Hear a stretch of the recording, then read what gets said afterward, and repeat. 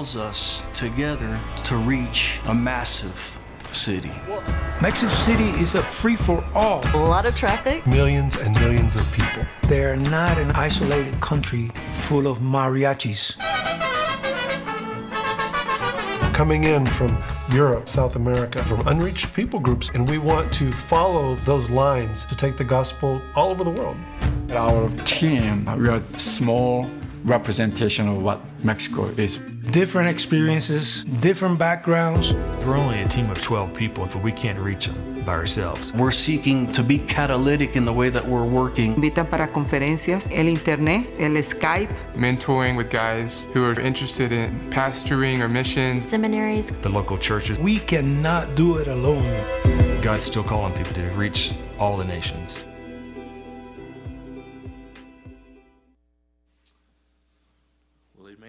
Thankful for the 3,600 international missionaries who serve in our interest and, most importantly, in the interest of the Lord Jesus Christ around the globe today. And we have a privilege to uh, be able to invest in the work that they are doing and in the additional missionaries that will be commissioned and be sent through the Lottie Moon uh, Christmas offering. 100% of what is received through this offering every year goes to fund the work of our missionaries.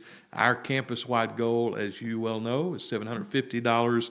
And so if everybody here on campus would just uh, pitch in $10, uh, towards this offering. I think we can meet and even exceed that goal, and we're always faithful to do that. So let me say thank you in advance. We have as our chapel speaker today uh, Pastor Dustin Sims. He is a 2006 alum of Clear Creek. I, actually, when we were talking, I thought I heard 96, and I was looking at him thinking, 96, brother, you're not that old. And, and so then he heard me say it back to him. He's like, oh, no, no, 2006. And so 2006 grad of Clear Creek, and, and we're thankful he's one of our alums, pastor of Horse Creek Baptist Church. That's over in Clay County, Kentucky, Manchester. And so he's a next door neighbor to where I serve there in Knox County uh, as well. And also, some of you have probably had him in class. He is an adjunct professor here at Clear Creek. He is working on, about to finish up, a doctoral degree. And so we pray for him as he continues that, uh, that endeavor. Uh, this morning, unspoken prayer requests by show of hands. Amen. The Lord knows those needs. I think Brother Colin has a surgery that's coming up uh, here towards the end of the week, and so we pray uh, for him. I mentioned him last week in chapel, but they were unable to get him in last week, and so hopefully by the end of this week, he'll have that procedure completed. Well, let's pray together, and then we'll worship the Lord. Heavenly Father, we praise your high and holy name. We thank you that you are our God, and Lord, that you have loved us and sent your Son Lord, to die for us, to save us from our sin, Father. Lord, we just pray that you would move and work in this place through the songs that we sing, the worship of your name.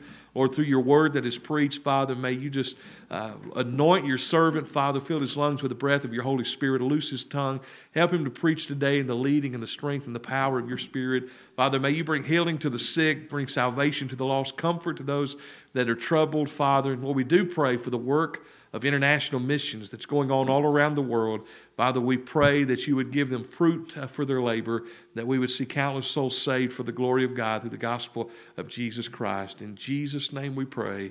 Amen. Amen. Well, let's stand together, Clear Creek, and worship our Savior.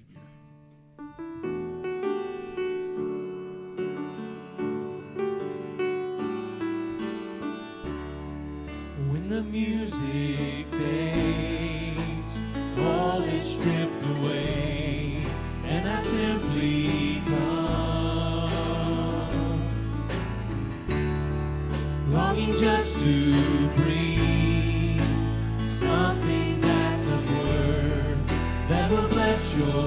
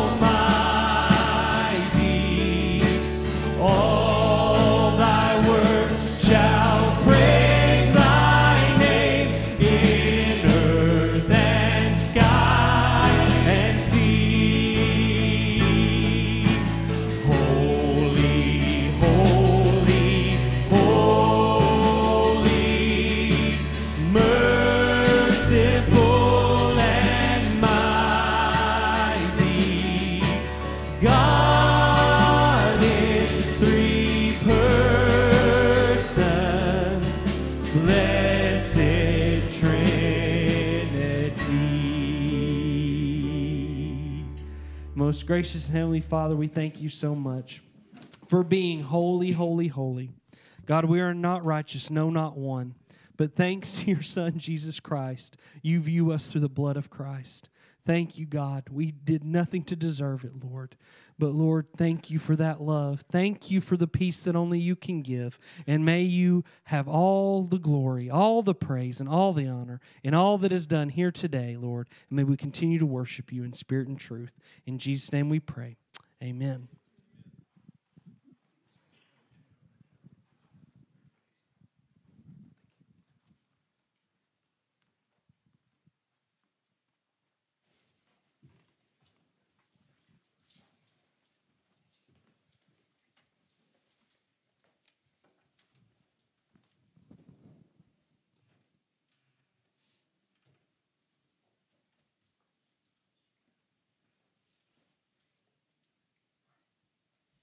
There were thousands of them. People were everywhere. At least 5,000 of them were men. And you know how men are always hungry. They followed us along the shores. It's not our fault. And now it was time to eat. But guess what? None of these stupid people brought any food. And now our rabbi has just told us to feed them. Uh, we got a problem. Send them all to McDonald's. There's not any here. Well, then send them to town. I've already suggested that, but the rabbi said for us to feed them. Yeah, right. No, I'm serious. That's what he said. Do you have any idea how much that will cost? Well, maybe we misunderstood him. No, he said for us to feed them. That's going to take more than any of us could earn in eight months. Uh, well, it's not our fault they followed us around the lake. Yeah, couldn't they tell we were trying to get away? I bet not even a single one of them could pay us back. It's not fair. Uh, this was supposed to be a retreat with our rabbi, not some kind of mission project. Yeah, even if we did have that kind of food or money, do you know how long it would take for us to pass it all out? I agree. It's an impossible task. You go tell him. No, he'll start questioning our faith again. Faith? What's faith got to do with it? Uh, we've got thousands of hungry people out there. We don't need faith. We need tons of food and lots of help. Maybe we need to get back in the boat and leave. Yeah, this isn't our responsibility.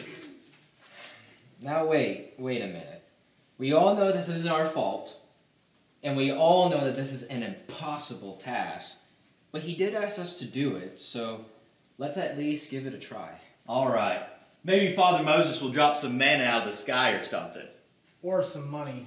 Let's see if we can find some crackers or something, just so he'll know we tried.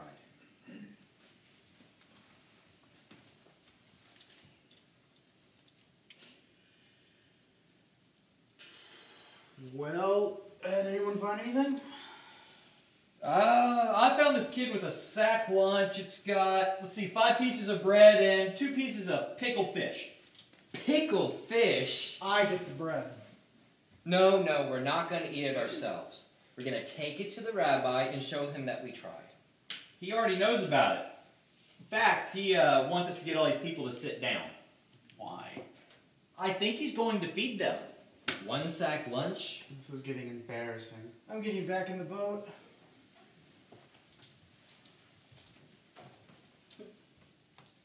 You've had a bad day?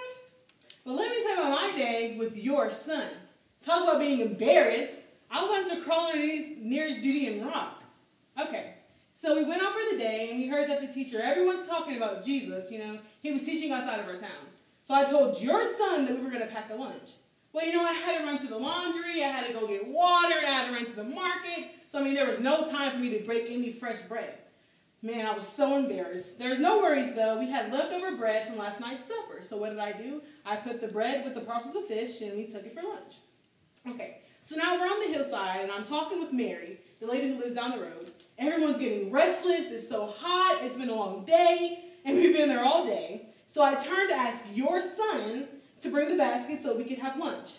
When poof, he disappeared. I mean, he was gone. I mean, it was such a crowd. I was so frantic. I looked and I looked and I could not find him. So then I asked Mary. She got her husband to help. She got her husband to help me look, and she looked at me and she said, "Look down there, where the teacher Jesus is." I mean, come on.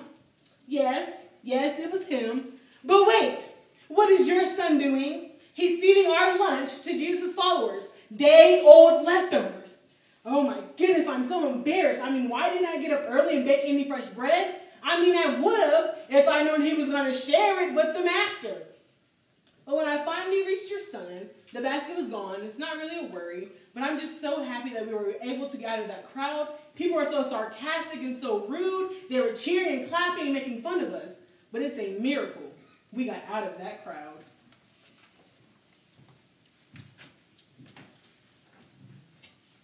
What has Jesus asked you to do? That you thought was impractical. That you thought you couldn't afford. Has he asked you to fix a problem? That wasn't your fault. Has he asked you to care for people? You don't even know? We each came home that day. All 12 of us. Carrying these baskets of leftovers? And these baskets are always reminding us that nothing, Nothing. Absolutely nothing Is is, impossible impossible with with God.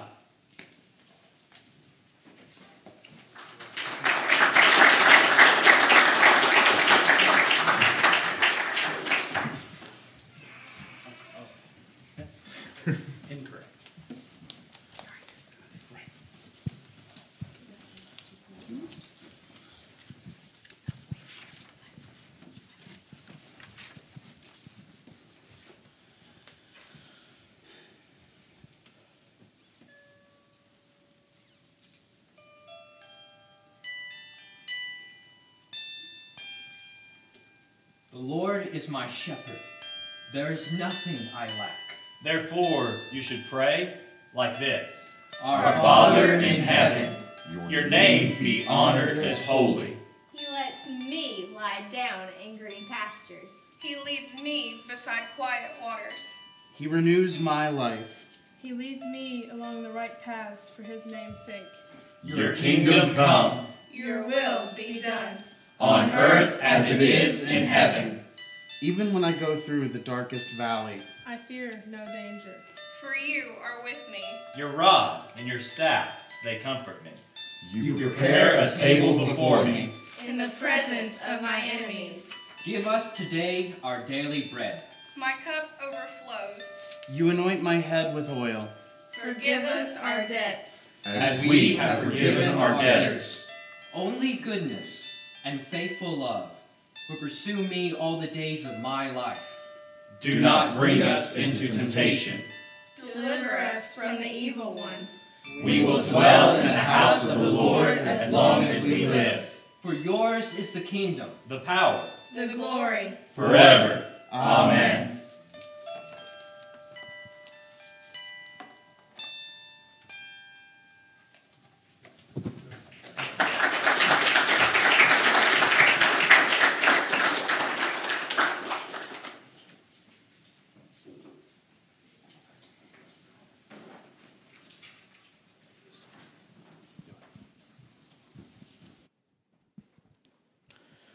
Good morning.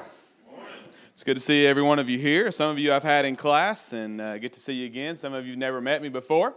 Uh, But as Brother Josh said, uh, my name is Dustin Sims, and uh, just a couple of things that, uh, uh, as far as introduction wise, um, I am uh, happily married. Been married for for quite a while since 2004. Uh, we met and married here uh, at Clear Creek, and uh, just a special place here. We have three children, uh, two biological children, and we have one from Thailand that uh, came to us as an exchange student and stayed a second year. She's now at the University of Kentucky, and uh, we we still we claim her as our own. And, uh, and so, at one point in our household, we had three teenagers uh, in our house, two of them being teenage girls. And so every single day we were, you know, we didn't know what the day. It was a roller coaster. I mean, it was up and down, up and down. And so, uh, but what a privilege it is to be here. And, and, and actually, this is uh, it's kind of interesting. This is the first time I've ever preached uh, here at Clear Creek. Uh, first time I didn't do senior chapel when I was here. Um, I never uh, I never took the opportunity to do that, so I'm excited to be here this morning. If you would take your Bibles and turn to 2 Corinthians chapter 1.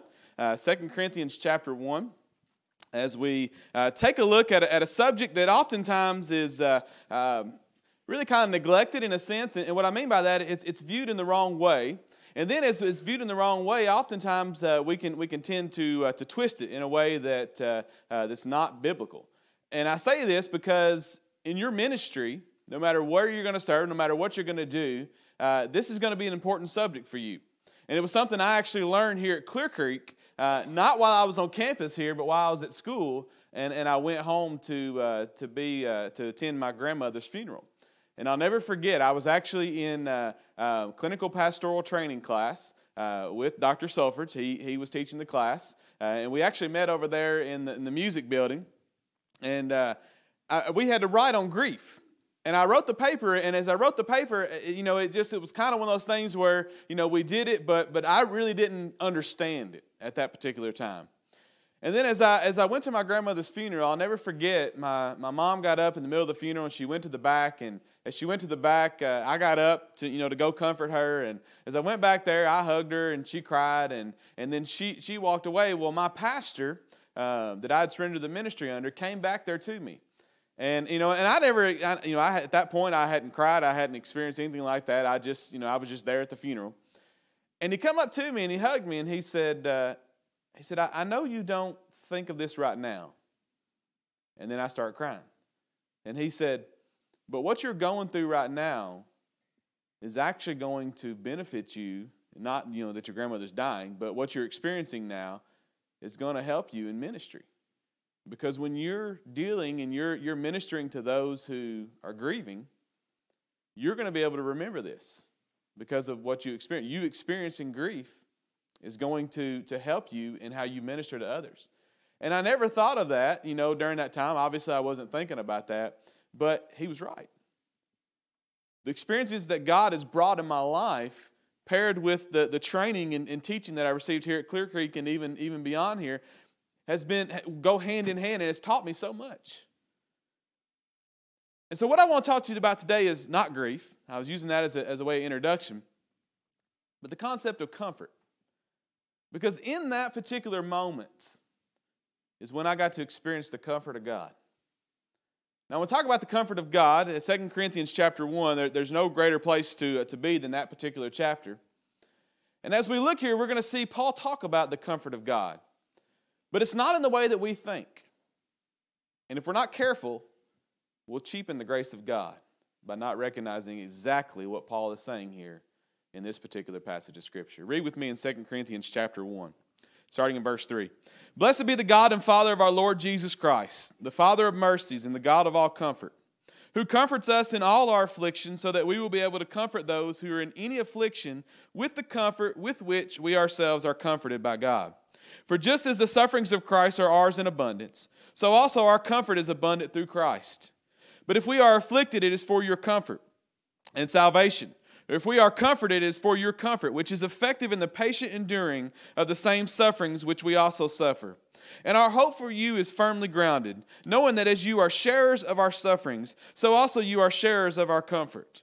For we do not want you to be unaware, brethren, of our affliction which came to us in Asia, that we were burdened excessively beyond our strength, so that we despaired even of life. Indeed, we had the sentence of death within ourselves, so that we would not trust in ourselves, but in God who raises the dead, who delivered us from so great a peril of death, and will deliver us, he on whom we have set our hope, and he will yet deliver us. You also joining and helping us through your prayers, so that thanks may be given by many persons on our behalf for the favor bestowed on us through the prayers of many. Let's go to Lord in prayer. Father, thank you for your word. And I pray that you help us to recognize right now as we gather together that when we open up your word, we encounter your word, you have something to say to us. And we need to listen. We need to be ready to, to respond. Lord, we can't come to your word, read your word, and not respond one way or the other. Either we're going to be obedient or we're going to choose to ignore and disobey. But I pray, Lord, that you would touch our hearts and I pray that you would draw us this morning. And I pray that you would remind us this morning that even as we are studying for the ministry, as many in here are, uh, and many of us are in ministry and we've gone through, and, and Lord, we, we are still, still learning and growing, that we never, ever, ever can do it without you, that it cannot happen. And Lord, I pray now that you would bless this time. May you speak to our hearts. Thank you and praise you and ask this in Jesus' name. Amen. In 1943, on New Year's Day, Dietrich Bonhoeffer wrote a letter.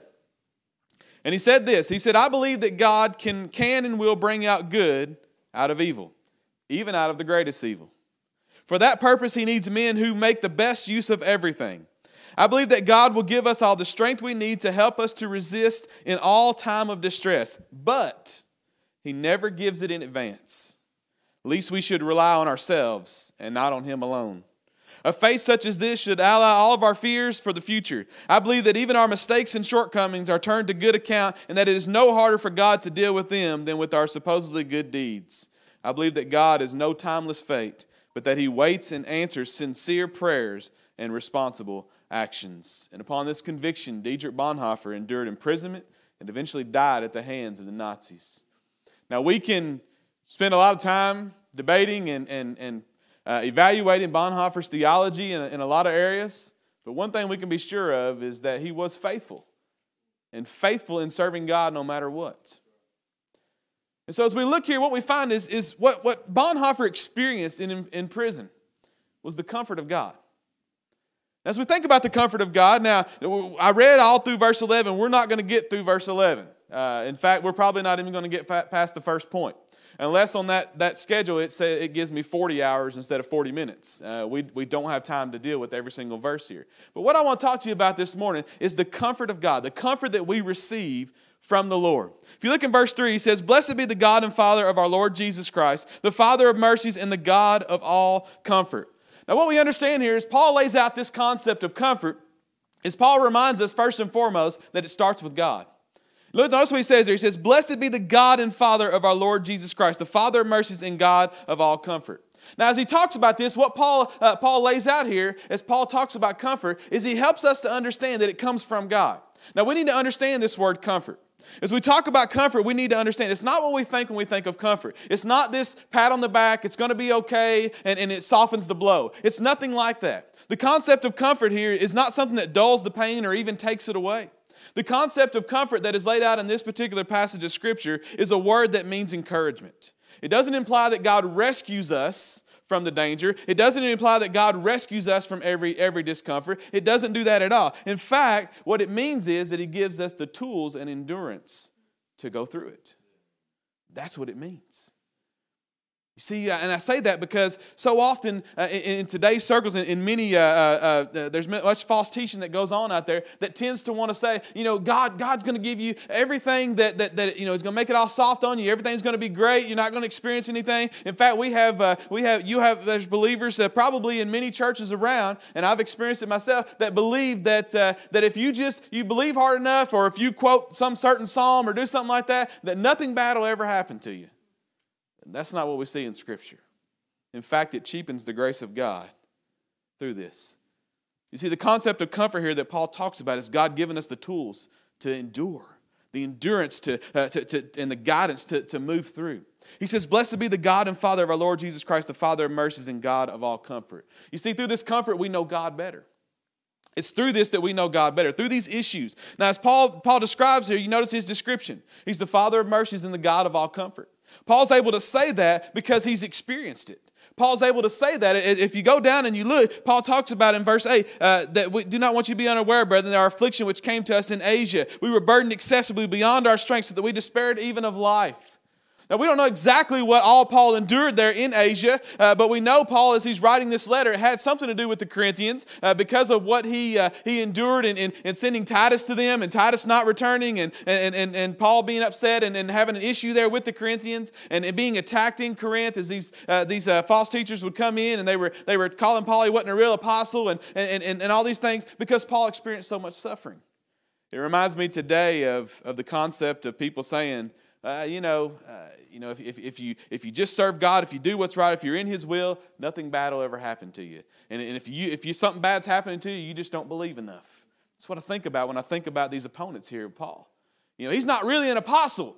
He, he can't really be, an, if he's experiencing all this suffering, he can't really be a follower of Jesus Christ. Or if he is, he's not following him right. But Paul says, don't worry about me. Let me tell you about the God of all comfort. Let me tell you what he's shown me through these afflictions. Let me tell you what He's shown me through these heartaches. David Garland says, We know God's promises best when we're in direct need of them. When we're in direct need of them. That's what Paul speaks about here. This comfort comes from God because He is the God of all comfort. And see what Paul says here, Paul has a greater understanding of God. I, I, always think about when I read this, I always think about Job. You know, at the end of Job there, when he says, uh, uh, and I'm paraphrasing, but he, when he says, uh, I had heard about you, but now I know you. Now my eyes have seen you. I, I've experienced. He's experienced God in this. But notice what he does there. He says he's the, he's the God and Father of our Lord Jesus Christ. You know what's amazing about this is Paul, as Paul's being attacked, and he's going to deal with a lot of attacks in this particular letter, and, and, and he's going to do that quite a bit uh, through this letter. But every time Paul deals with an attack, he never makes it about himself. He always brings it back to God. He always brings it back to Christ. That's what he does here. They're saying, Paul's not a real apostle. And he says, Let me tell you about God. Let me tell you what God's done through this. I can show you, I can demonstrate to you that, that, that uh, uh, God has, has, has moved in my life. I can demonstrate to you who God is from the life that I've lived and what God has done in my life. You see, the greatest comfort we see here is he talks about God and Father of our Lord Jesus Christ. The greatest comfort we can see here is that, is that God the Father is the one who, who sent his Son to die on the cross for our sins. As he sent his Son and he was crucified, he, and, and, and he, he experienced our suffering. God knows. God knows his son was, was crucified for us. He may not always remove the affliction, he may not always take it away, but he always comforts us by giving us what we need to face them. And what's amazing about this, as God does this, we experience who God is and we experience his comfort on a greater level than we ever could before by enduring it, by going through it. And I tell you all this because in ministry, you're going to experience it, it's going to happen. You may have a compliment given to you, but I guarantee you, probably later on that afternoon, somebody's going to call and they're going to tell you something they don't like.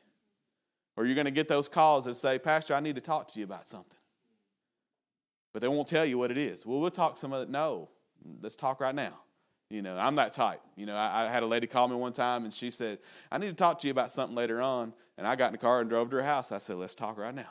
I can't stand to sit and wait and wait for to figure out what, what exactly you know what the problem is. Because usually when they call it's not going to be i can't wait to tell you how, how great things are going or i can't wait to tell you how excited i am about this that. No it's usually something that, that's going to be so you're going to need the comfort of god. In fact that's the only thing that gets you through it. But notice here what he says here. He says in verse 4 who comforts us in all our afflictions. It's not just some affliction but all our affliction and what he says here, when he, when he uses the word affliction, is it's not just talking about something external, it means external and internal. The, the, the, stress, Paul, Paul would talk about later on in the letter how he was distressed over the fact that he had sent Titus to them uh, with the, the letter of tears and Titus returning back. And he didn't know exactly how the Corinthians were going to respond. He didn't know if it was going to make them more upset. And when he got to, to Macedonia, uh, Titus wasn't there. He, he, didn't know, he didn't know where Titus was. Paul was concerned. He was worried. Paul had all these, these, uh, these feelings going on. It wasn't just external in what he was experiencing in the persecution, but internal as well. He was tore apart. And Paul would say, even to death. That's how, how stressed he was. That's how, how, how much uh, pain Paul was dealing with. But Paul says here, he says, uh, he, he, says that uh, this affliction, that, Paul, that God comforts us in all of our affliction. Notice what he says there, so that we will be able to comfort those who are in any affliction. Paul's able to, to write about this and he's able to tell them and he's able to, to talk about this comfort that God has given him because he's experienced it. And he's able to demonstrate to them. His opponents were saying that he wasn't a real apostle, and Paul says, No, look at my life. Look, look at what, what God has done in my life. I can show you, I can demonstrate to you and tell you about the comfort of God. And here's what's amazing about this. As Paul talks about this, paul's not just simply writing this, Paul's experienced it.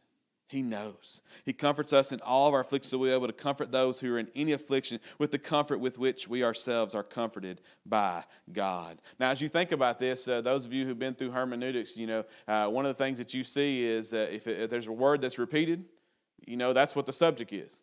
And notice how many times Paul keeps saying comfort, comfort, comfort, comfort, comfort, affliction and comfort, affliction and comfort. Paul understood. Paul was able to, to write this because Paul experienced a great deal of affliction, but he also experienced the comfort of God. And here's what's amazing about this. As Paul writes this and he says this, he gives us a great theological truth here that we need to understand. If you look down and you see, Paul says in verse 8, For we do not want you to be unaware, brethren, of our affliction which came to us in Asia. We were burdened excessively beyond our strength, so that we despaired even of life. Indeed, we had the sentence of death within ourselves so that we would not trust in ourselves, but in God who raises the dead. What Paul experienced there and what we need to be reminded of today is as Paul uh, was afflicted, as he experienced the pain and the suffering and all that, he got to experience the comfort of God. And sometimes God will take you out of it, sometimes God will, will move you through it. But what Paul understood in that is Paul learned to trust in the God who raises from the dead. Now you say, what does that have to do with anything? Because every time we experience the comfort of God and he brings us through it, we get a taste of what it will be like in the ultimate deliverance through the resurrection. That's what we get to experience. That's why when we say, God, God's just going to give you all good things and you're not going to experience any heartache, you're not going to experience any affliction, it cheapens the grace of God. Because when we experience these things in life and because we live in a world that is sinful and we, we, we, are we're uh, light to go into a dark world, we're going to experience these things. But what's amazing about this is in that comfort, in that deliverance, whether it's through it, whether it's out of it, maybe, we, uh, maybe God takes us on, whatever it may be, we're ultimately delivered and we get a taste of what it will be like one day when God delivers us, of what it will be like when God delivers us.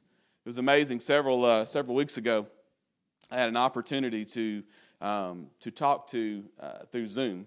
Um, uh, several several uh, um, uh, brothers and sisters in Christ. Uh, they were in India and Sri Lanka, Nepal. There was a few countries, and there was 157 of them on Zoom. I don't even know how it kept up with it. There was a lot on there, and I, and I got to teach this very thing. And it was amazing to me that regardless of, of culture, regardless of distance or whatever, this message resonated. And, and, and it was amazing to see. And what was so amazing about this is at the very end of it, at the very end of, of, of me speaking, he, he allowed each one who wanted to say something to say something. Now, I, I couldn't understand everything that they said, but one of the things that, that they kept saying over and over and, and many of them are, you know, in, in India, there's, you know, the government one way or the other. You know, one day they may be okay with, with Christianity, the next day they may not be. Uh, and there's, there's a constant battle back and forth and a constant uh, persecution in, in, in these other places as well. And, and here's what's amazing in all of that, no matter what they're, and they had, they had, they had uh, a chance to speak.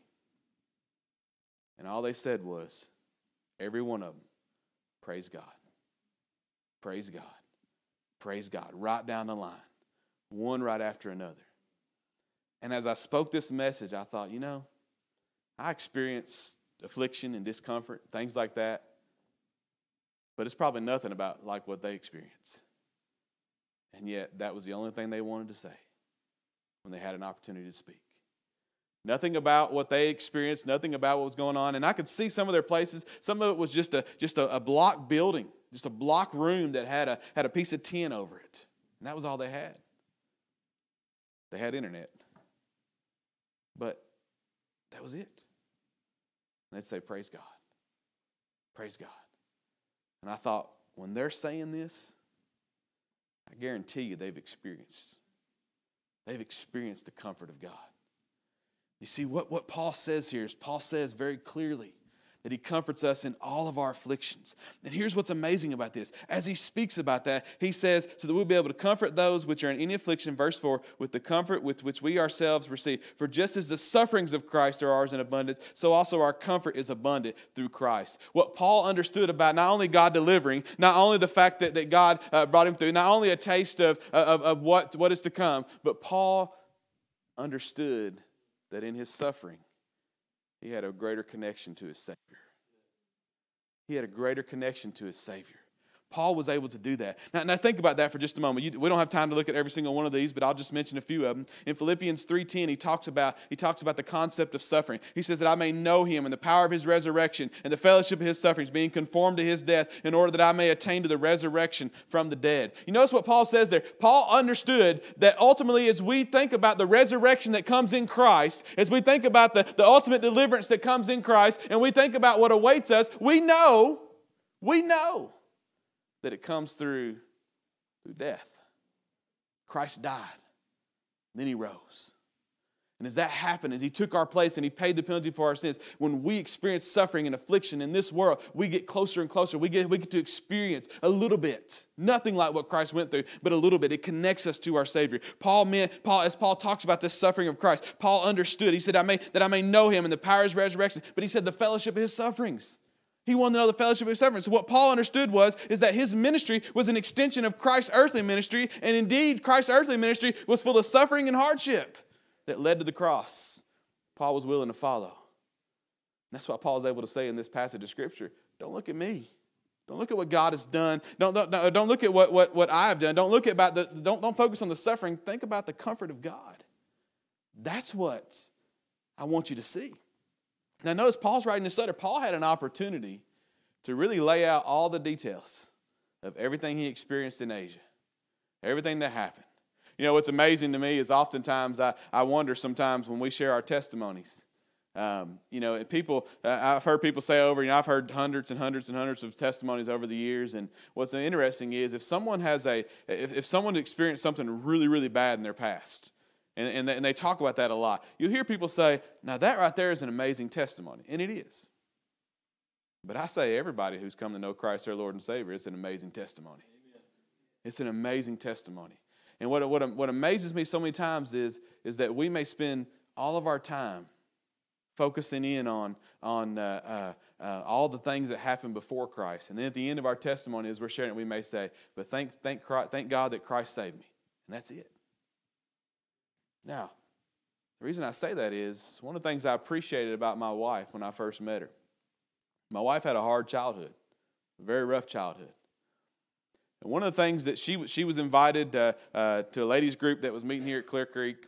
And I'll never forget people coming to me and telling me about how it went. And, and what she said was this She said, I can spend all my time telling you about what happened before, what happened in my life growing up. She said, But I don't want to spend all my time talking about what happened before Christ and all the things that, uh, uh, that the enemy used uh, in, in, my life and all the terrible things. She said, I could spend all time doing that. She said, I'd rather tell you about what Christ has done in my life and how he's changed my life. I'd rather tell you about what he's doing now in my life. And so she did. She would do that and she would share her testimony. And, and that was one of the things I appreciated about her so much was that she was willing to, to lay it all about. That's what Paul does. Paul would go over and over and over and over, and he would talk about uh, who, who God, he would bring it back to Christ, and he would talk about uh, who God is because Paul knew that what he was experiencing was not foreign. As he would talk about, he said, and Peter would say the same, don't, don't think it unusual that you're facing trials. Don't think it at all. Everything needs to come back to Christ. Everything needs to point back to Him. And so in 2 Timothy, Paul would say, All who desire to live a godly life will be persecuted. In Philippians 1.29, for, if it is you has been granted for Christ's sake not only to believe in Him, but also to suffer for His sake. 2 Corinthians 4.17, for momentary light affliction is producing for us an eternal weight of glory far beyond all comparison. What Paul understood in all of this, and what Peter and the other writers understood, is that as believers in Jesus Christ, we will experience suffering. And in experiencing suffering, we get an opportunity to grow closer to our Lord and Savior Jesus Christ. And as that happens, and we experience the comfort of God in our life, we get a, the privilege of being able to see firsthand God's deliverance, a taste of what He will ultimately do one day when we when we're, we, we experience the resurrection. Now, let me tell you something. We serve a great God. But you notice what Paul says. He says in verse 5 For just as the sufferings of Christ are ours in abundance, so, offer, so also is our comfort in Christ. Now, what we understand from that is Paul says the suffering never outweighs the comfort. It never outweighs the comfort. Never at all. So, what are we to do with this? Now, we could go on and we could spend some more time and, and things like that, but I, but I want to take a time just to, to give you a few things of application here. How do we apply this? Well, the first key is that we understand the Lord. We grow in our understanding of God. Now you say, well, what, what does this have to do with anything? Now, notice what Paul says. Paul starts out by, by addressing who God is. He's the God of all comfort. And Paul addresses who God is. And so this comfort comes from him because of who he is. So to recognize God's character is not in flux, to recognize that He doesn't He doesn't go uh, back and forth and back and forth, but to recognize that He is He is uh, yesterday, uh, today, and tomorrow always the same. To recognize that and grow in our understanding of who God is as we read His Word, we spend time with Him in relationship. As we grow in that, that is that is that is the first key that we need to do. Paul had a great understanding of God because of what he experienced, and so what Paul did, Paul was not glorifying the suffering; he was glorifying God because he recognized who God was. First thing we need to do is grow in our understanding of God. It's not the suffering that teaches us faith, but God. It's not the suffering that brings, that brings about the comfort. It's God who brings about the comfort. And God uses it as a platform to, to, to bring us and to teach us and, and to display His resurrection power in our lives, either deliverance through suffering or deliverance out of it. What we find is we find that we have to grow in our understanding of God. The second key is that we have to have the right understanding of suffering. Now, as we talk about suffering here, it doesn't mean you go look for it. Okay? I'm not telling every one of you here this morning, let's go out and let's go look for suffering. I had a friend one time who, who, who said who thought that very thing. He thought, well, maybe uh, you know I should I should pray for trials or ask for trials and, and things like that. And, and then he quickly learned, no, I don't need to I don't need to do that. Suffering comes because we live in a sinful world that is twisted by sin, and we're seeking to take the gospel to a world full of sin. We've been going out on Sunday evenings. Um, through the month of through the last part of September and through October doing the gospel to every home. And uh, as we've been going out, what's been amazing is most people have been receptive, and you know we've had opportunities to talk and, and opportunities to share with them. But we had a few. Uh, we, we, had a few that uh, uh, that didn't respond very well. In fact, I, I told a deacon of mine, I said, You never should have given this man a high five. They, they went up to this man. They, we went to church fans, so everybody knows where we were. And uh, this man uh, reached out and he said, Give me a high five. And so my deacon reached out and gave him a high five. And as soon as he gave him a high five, that guy snapped. And he threatened to blow up the church, to kill all the preachers, and, and he was a mental, he had mental issues. But uh, he threatened to, to, to, do, to do everything that possibly could be done to the church. I said, That was some high five that you gave him. And so we've had a few, you know, close the door in our face. You know, you're going to experience that because we live in a world that is full of sin. Suffering is going to be experienced by all, although not always to the same degree. Suffering is used by God to teach us. Sometimes He takes us out of it, sometimes He takes us through it. Either way, we learn the power of God to resurrect. We learn what God is doing, and it points us to what will happen in the future. It's not easy and it hurts. It doesn't mean that it's going to be that we walk through and we're smiling, and everything's great. It hurts. I always tell people, you know, when they experience a, a death, and they'll say, you know, they're a believer in Christ, and I know I should be happy right now, but I just can't be. I know where they are. And I said, You're not wrong. I said, In death, it reminds us that things are not the way they're supposed to be. But the hope we have in Christ points us to say, One day they will be. One day they will be made right. And when we experience this, the suffering, we experience the comfort of God, we get to experience that one day things will be right. They will be made right. And the third key is to have the right focus. And that is not to glorify in the suffering, but to glorify in the Lord. Not to look to the suffering itself, but to look to the Lord and know there's an outcome. God has a purpose, He has a plan. And it was clear to Paul that God doesn't, doesn't protect his people from suffering. Instead, he allows them to go through it. And as he does that, he, he, he shows himself to them in a great way. What Paul would say is Paul would say this is his hope is beyond anything this world can bring against him because his hope is in Christ. And in that suffering and that comfort that God provided, he had an opportunity to experience the resurrection power of Christ. Now, it's a privilege. It's a privilege that God would use us in the first place. It's a privilege that God would allow us to experience it. You know, before I preach, we always have prayer, we always have time, and I always pray that same thing Lord, we're about to encounter your word. And the reason that I, I pray that is because we need to recognize the privilege to be able to have the word of God. It's a privilege to be able to, to, to, to read who He is. It's a privilege to be able to, to, to uh, that He's revealed Himself to us, that He uses us it's a privilege. But here's the great thing the great thing is, even in the great times, even in the suffering, God shows himself to us. And we get to experience a taste of what will ultimately come. I want to close out with this, this story here. When I went to South Carolina to pastor, it was only my second pastorate. And I remember going in, and within a few months' time of being there, we had learned that the current secretary had embezzled money and that the church was owed a half a million dollars to the IRS from back payroll taxes, owed 250000 to the South Carolina Department of Revenue, where payroll taxes hadn't been coming in. And I'll never forget, I, I remember being presented with that situation, and none of them knew. And I remember calling Dr. Lucas, and I said, Dr. Lucas, y'all didn't prepare me for this. He said, There ain't no class on this. he said, You're going to have to experience it. He said, In fact, after you get through it, he said, Come back to Clear Creek, you can teach it. but I'll never forget, during that time, not only we, we had that, we had uh, a $56,000 air conditioner that had to, that broke in the sanctuary. We had a $150,000 uh, air conditioner broke in the outreach.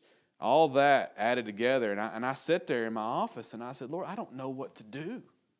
I have, I'm not prepared for this. And as I was praying, I felt a comfort and peace of God. Now, he didn't take me out of it. We had to go through it.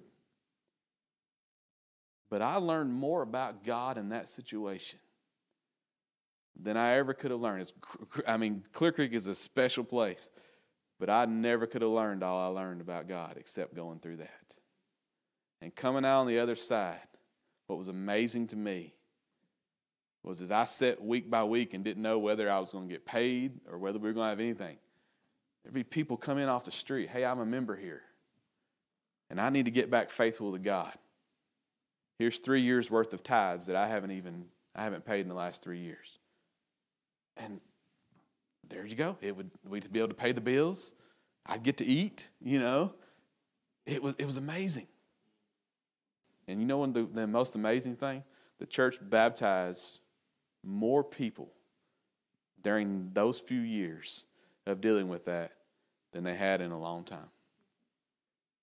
And I told every, I told the congregation, I said, when we first found out, I said, this is the time that people leave the church. But if you leave during this time, you're going to miss the blessing that God has for us through this and on the other side. And what was amazing about it all is during that time, we never had anybody leave. Now, there were some issues after, but we never had anybody leave. God showed himself to us greatly during those times. The comfort will never outweigh the, the excuse me, the suffering will never outweigh the comfort that God provides.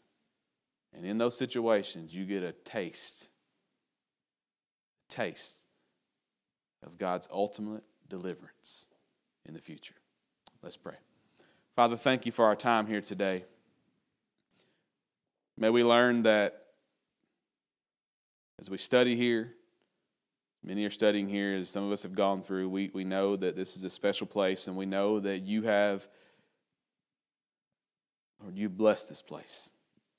And it's amazing. Cannot be overstated how valuable Clear Creek is and how you bless, Lord. It's valuable because you bless. It's valuable because you've, you've led. It's valuable because you, you provided. Lord, I pray that we would recognize this morning that you teach us outside of the classroom as well.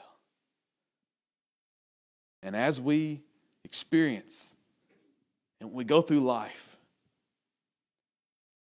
may we not glory in the sufferings, may we not glory in the heartaches, may we not glory in the, in the things that, that we experience, may we glory in you. May your name be lifted up in our lives. And may we praise you. Lord, I'm thankful for who you are and, and the comfort that you bring us, and that you give us a taste. of what you will do ultimately one day. Thank you, Lord. Thank you that no matter what we experience in life, we can look to you and know that you love us and know that you're leading and there's a purpose and there's a plan.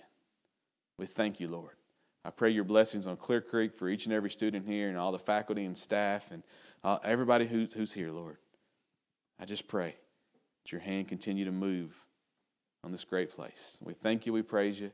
We ask this in Jesus' name. Amen.